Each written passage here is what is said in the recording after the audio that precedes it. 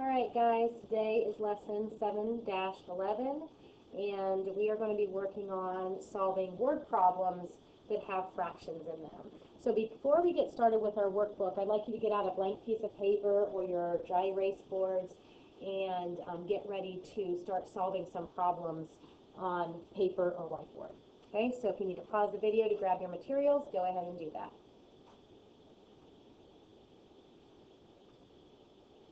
Okay, so the first thing I want you to do, it says use your ruler and draw a line segment that is two and a half inches long. If you have a ruler, go ahead and grab that ruler and draw that. If not, remember we can just draw something and just pretend it's two and a half inches long. We can just kind of, it doesn't have to be perfectly to scale, okay? Um, and then it wants us to partition the line segment into half inch lengths. And it wants to know how many half inch lengths are there. So the first thing I want you to do is I want you to go ahead and just draw a line, okay? Whether it's two and a half inches or long or not, we're just going to pretend, okay? We're going to say here's zero, and this is two and a half. Okay, so we're just going to pretend, even if you don't have your ruler. All right, now we're going to partition the line segments into half-inch line segments. Okay, so now this is going to be a little tricky. Remember, this line segment is two and a half inches long. And so, you know what, maybe here's what I want to think about it. Let's, let's do it kind of like this. I'm going to go ahead and here's my zero. And I'm going to pretend that's one inch. Okay, oh, I might even put that. I'm going to pretend that's another inch. That's two. And then I got to go another half inch to get me to two and a half inches. Go ahead and draw something that looks like that. Now we're going to go ahead and partition it into half-inch line segments. So you know between 0 and 1, you're going to have a half, right? And then between 1 and 2, what would be between 1 and 2? That would be 1 whole and a half. And then we have 2 inches and then 2 and a half. So this is segmented into half inch, half inch, half inch, half inch, and half inch. Okay? So half, one, one and a half, two, two and a half. How many half inch line segments are there? And so you can see there's one, two, three, four, five half inch line segments.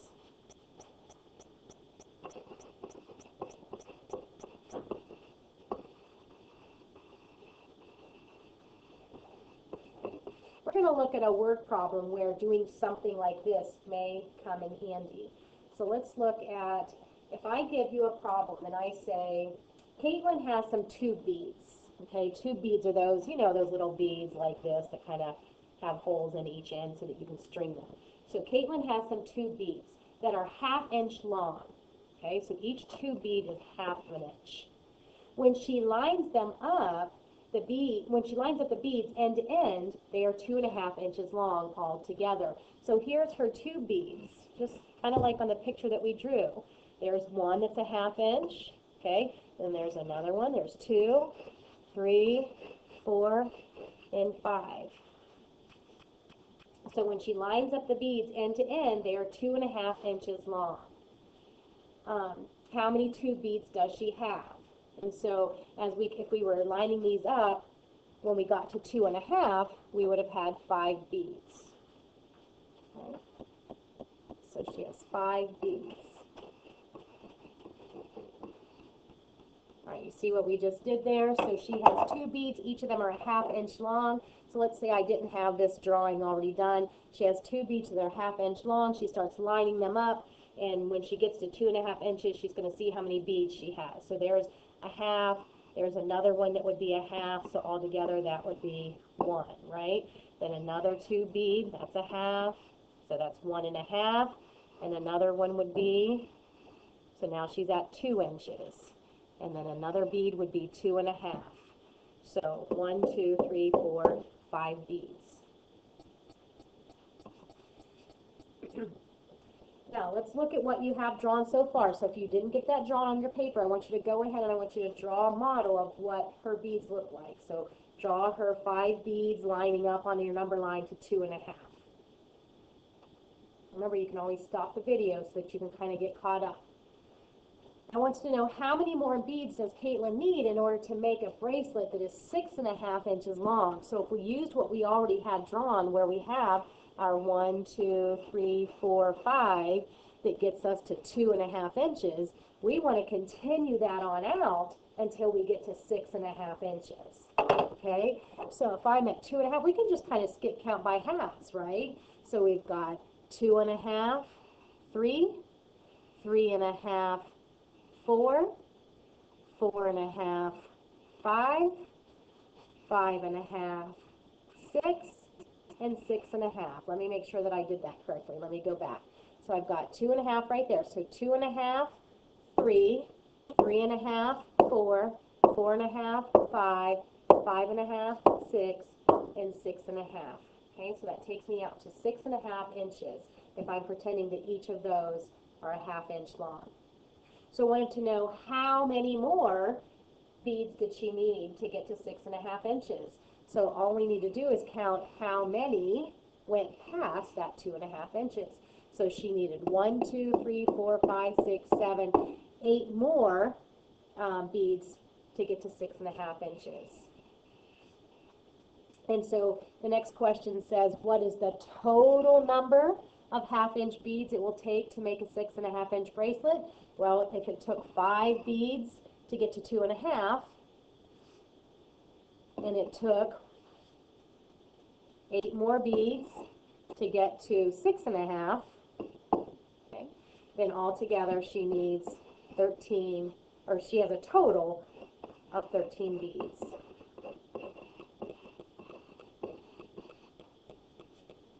Okay, so this is an example of a word problem or something that you might need to do where fractions are going to come in handy. So let's look at page 246 in your workbook. I want you to go ahead and pause the video right now, and I want you to go ahead and try to solve the problems. I think there are two, three problems on this page. I want you to go ahead and try to solve these problems. Draw a picture to help you, and then you can start the video back and we will go over them together. Okay, so hopefully you have already um, paused your video.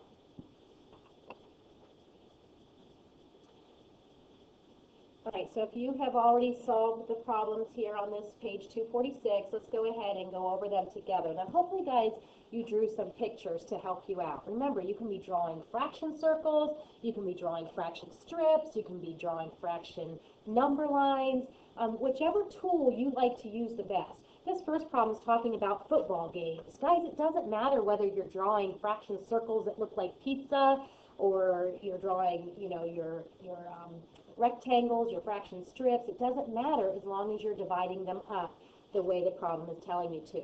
So Tanya watched the whole football game. Micah watched one-fourth of the game. And Alma watched three-fourths of the game. Who watched the shortest amount of the game? I'm going to have to be careful because a lot of problems always ask who watched the most of the game. And this one says shortest. So I know Tanya watched the whole game.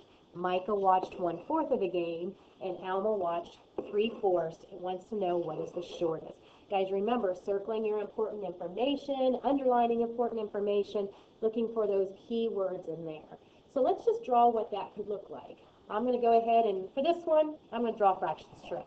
You may have drawn a fraction circle, you may have drawn um, a number line, whichever you would prefer to do. Now guys, I noticed that these fractions, both of these fractions are talking about fourths. So I can go ahead and divide this one into fourths. Remember, divide it in half first. Divide each half in half. Okay? Now, if it said, and we could draw one of these for, for each person, couldn't we? If we wanted to. We could draw one for um, Tanya, we could draw one for Alma, and we could draw one for Micah. Now, Tanya watched the whole game, so let's just draw a quick one for Tanya. This is Tanya, and she watched the whole game. Okay? So we know she watched the most, right? And now Micah watched one-fourth of the game. And if Alma watched three-fourths of the game, we can go ahead and divide hers into fourths. And she watched three-fourths of the game. Okay, so this would be Tanya, this would be Micah, and would be Alma. Now it wants to know who watched the shortest amount of the game, and so right there, your sketches proved that one-fourth is the least amount. Now, hopefully at this point, guys, you're understanding that one-fourth is less than three-fourths, and of course, both of those fractions are less than a whole. But if you need to be drawing a sketch, this wanted you um, to draw out sketches to show your work. And so these fraction strips would be perfect, or you could draw them out as fraction circles. All right, looking at the next problem, again, I hope you went ahead and figured this out first. If not, pause the video. The problem says Caden made two cups of salsa for the party. The six guests share the salsa equally. Write a fraction that shows how much each guest will get. All right, so I'm going to read that problem again. It says, Caden makes two cups of salsa. Guys, wouldn't that be like two wholes, right? Our cups are going to be our wholes. And so, um, you know, you could, you can make something that look like cups, or you can just make your plain old fraction circles, okay? I'm going to go ahead and draw them as, and just pretend they're cups, okay? Just for the fun of it. It says the guests share the salsa equally. The six guests share the salsa equally. Write a fraction that shows how each, how much each guest gets. Now you can actually do this a couple different ways. Okay, we know that if we're taking these two cups and dividing it between six guests, um, some of you might go ahead and divide each cup into thirds, right? And so this could be guest one, guest two, guest three, guest four, guest five, and guest six. Okay, so write a fraction that shows how much each guest gets. Well, each guest is going to get um, one third of a cup of salsa.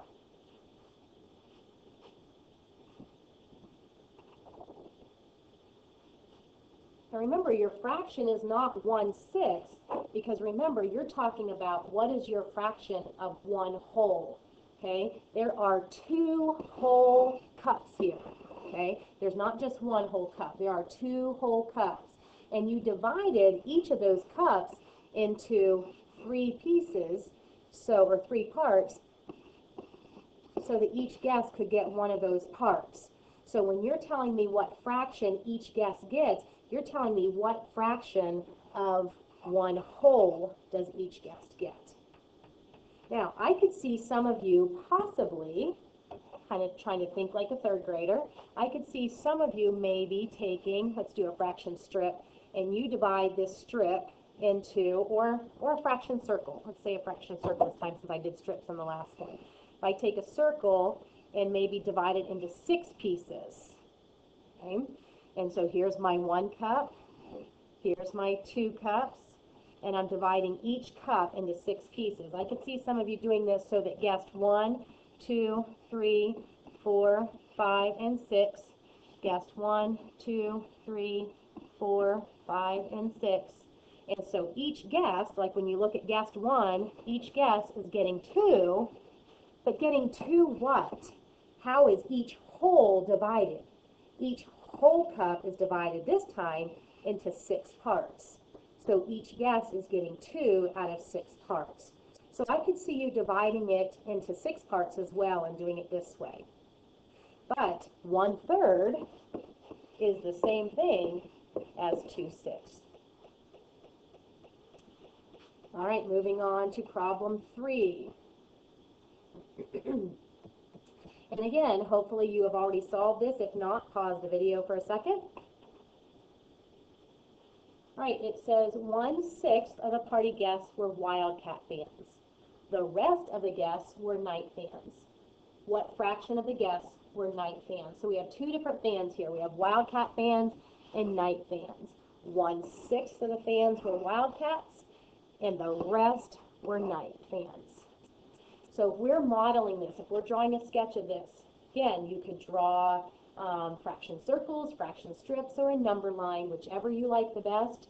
Um, to be honest with you, I'm a big fraction circle person because I just can do it quickly. So if I take my fraction circle and I divide it into six pieces, then I'm going to divide it first into thirds, and then divide each third in half so that I have six here. And one sixth are wildcat fans. The rest of the guests are night fans. So one, two, three, four, five out of six are night fans. Okay?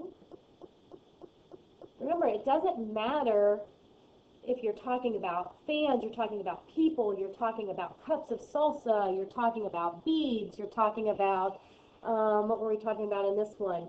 Um, watching a football game. It doesn't matter what you're talking about. When you start talking fractions, fraction circles, fraction strips, and number lines can help you to model those no matter what the situation is. Okay? I told you, when I'm in my kitchen baking and I need to kind of figure out different fractions, I'm still drawing something that looks like a pizza, even though I'm measuring with cups, just because fraction circles are something quick and easy that I can draw out. All right, on page 247, guys, you're going to do fractions on a number line. Um, I think at this point you really should be able to do this. I want you again pause the video, do this page on your own. If you need some help, then go ahead and restart the video and I'll go over it very quickly. All right, it says the whole on a number line is this distance between 0 and 1. Each number line below shows more than one whole. You're going to label the wholes, then partition to locate and label the given fraction. So if I want to label the fraction 1 half, remember I'm dividing my wholes into two parts. Okay? Oh yeah, this is kind of tricky. I kind of forgot about this one. Okay, so if I'm going to get clear down to four wholes, I got to realize that this is probably one whole, two wholes, three wholes, and four wholes. Okay, so there are my wholes. Now I got to partition, partition each whole in half. So I'm going to partition this whole in half, this whole in half, this whole in half, and this whole in half. And then go ahead and label one half on the number line. That's my one half. Okay. All right, looking at 2 fourths. Okay, so we're going to go ahead and label our wholes on the number line. And so hopefully this didn't confuse you. All right, if this is two wholes, then right here is one whole. Now I'm going to divide each whole into four pieces. Okay? So if this is my whole from here to here, I got to divide that into four pieces. Remember, first we divided in half, then we divide each half in half, and there I divided it into fourths. I'm going to go ahead and do that with the rest of the number line. So I'm going to divide this hole in half, and each half in half, and then I'm going to go ahead and I'm going to label my two fourths. So one fourth, two fourths would be right there, which two fourths you should recognize is equal to one half. All right, write a fraction below each triangle to show the distance from zero. So this whole goes to three right here, but right here I notice three thirds. What do you know about three thirds? When the numerator and denominator are the same, that equals one whole.